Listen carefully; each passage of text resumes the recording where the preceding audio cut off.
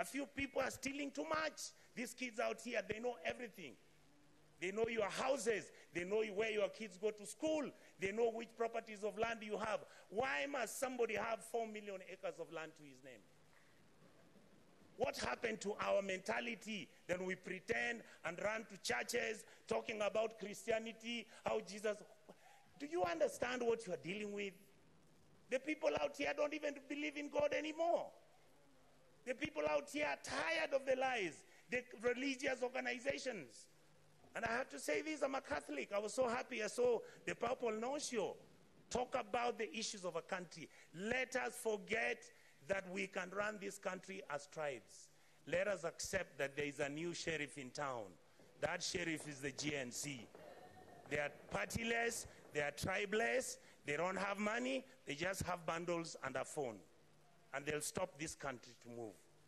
I would like to plead with the members of this House when it comes to looking at what role our committees are playing. Look at what happens. I want to thank my brothers uh, Sifuna, uh, my brother Cherargei. I want to thank uh, Madam Dullo.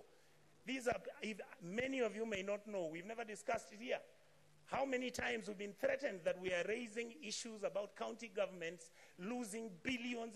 I mean, who doesn't know how many governors own apartments and houses in Kilimani Road?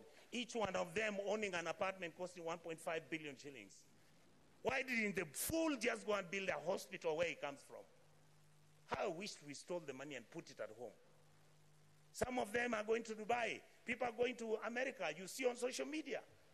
I just bought me I just saw somebody commenting saying that oh, the senators have nothing to do. I want him to tell me how he bought a Bentley and is an MP. Explain to me, how does somebody, I mean, the truth is, I'm born with advantage and privilege. That is the truth. I saw my father driving a big car when I was a small boy.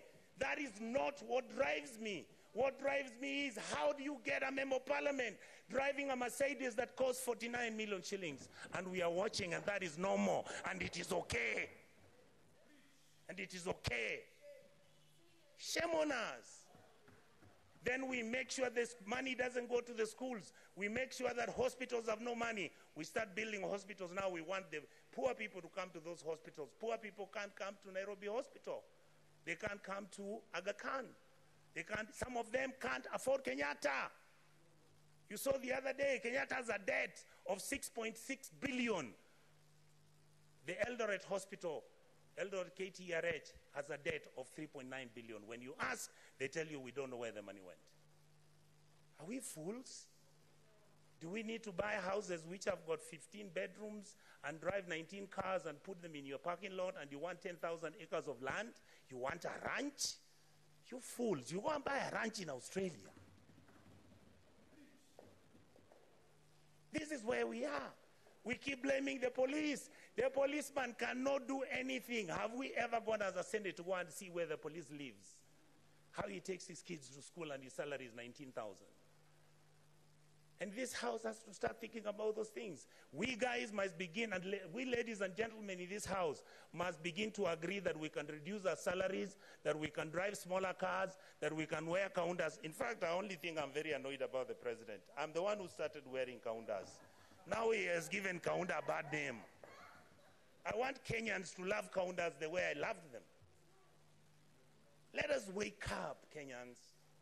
We can't play football. Money comes from FIFA, it is eaten. World Rally Championship, money comes from there, it's eaten. You go, you want Kenya Lawn Tennis Association, they only want 50,000 to hold an international uh, tennis tournament. Not even the minister appears there. But when the minister is traveling out of the country, he's got how many people? Private jet, goes to Dubai, books one of those hotels, luxury hotels, and he comes back to Nairobi with the same nine people he took with a private jet and you assume that the Gen Zs don't know. These days they track you. They can know which private jet you took, where it went, and how it came back. Many of us are worried because either because of history or because of what has happened, we have got a lot of money now, we are owning so much land. Please allow us to have spatial planning. Your land, we can have an implemented law in this house to protect your even identity. But please don't stop stealing public land. Let us have mercy at our people. You saw people in from Eldoret and Kakamega talking about, oh, our shambas which our grandfathers left for us. Now you guys who are MPs and senators, you come, you chase us away, and then you throw us into court. You go and bribe the courts. And I want to talk about the judiciary. We respect you. We know that you are most of the time under the pressure. We know there are certain things which you can even be blackmailed, but we want to hold you at a higher standard. We must hold the judiciary at a higher standard, the legislators at the higher standard, and make sure the president is also at the higher standard. That is how we can, we can move as a country and stop this nonsense. We, can't, we behave like monkeys running through a forest looking for bananas without knowing whether it's the bananas they want or it's oranges. I really, really want to say this, Madam Speaker, finally. I was nearly giving up on my country. I have changed my mind because of today. The young men who are fighting for this country have done us proud. Let us treat them with dignity. Let us make sure we engage them. Let us stop doing the things which make them angry, desperate, and upset with the ruling class. The truth is, if this country breaks down, it takes all of us down. I can tell you, I was in South Sudan when we were doing the comprehensive peace agreement. I visited as a minister, as a young minister, to go and do what was called a referendum. I've been to Khartoum. I have been to Mali. I've been to uh, um, a country in West Africa. Um, I'll remember the name, Madam Speaker. You look at how people have been treated and how the political class has treated their people. Everybody looks destitute and everybody is desperate. Let us change our ways. We can run the country peacefully, make sure everybody is a person of dignity. Let's treat our people kindly. A country that never takes care of its most vulnerable is a country that is not worth talking about. So I want to ask the political class, I want to ask all our auditors, I want to ask all members of the county assembly, please, members of the county assembly, your job is to oversight, the MP's job is to oversight, and the senator's job is to oversight. Let the governors run the place. If they bribe you, you will not get development.